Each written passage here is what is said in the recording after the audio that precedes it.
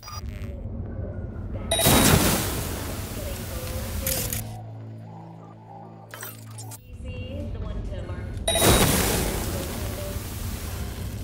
I guess that word a hurricane dropped it over before they could even...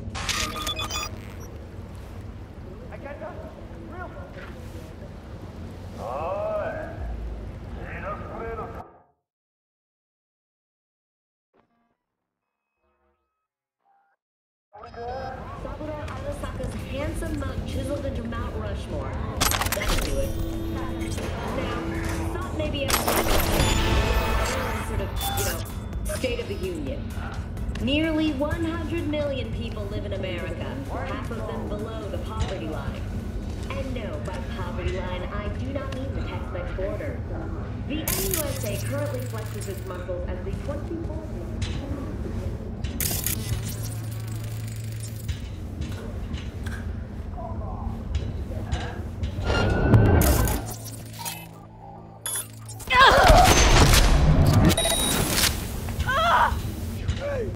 can't kill everyone.